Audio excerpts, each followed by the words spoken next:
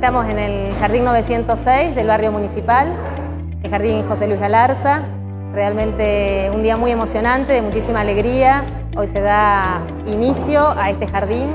Es un jardín muy lindo, tiene un zoom muy grande, la dirección, cocina, todo equipado, salas con, todas con sus muebles y un patio muy cómodo también. Estamos en el pulmón del barrio municipal, que es un muy lindo proyecto, así que hoy es un día muy feliz para todos. nunca pensé que íbamos a tener este jardín acá inaugurado y me parece bien lo que pensó el intendente para los niños de acá.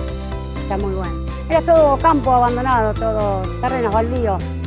Y los días de lluvia era muy lejos para mandarlos, se mojaban. ahora me quedaba media cuadra de mi casa. Por eso estoy feliz que está cerquita.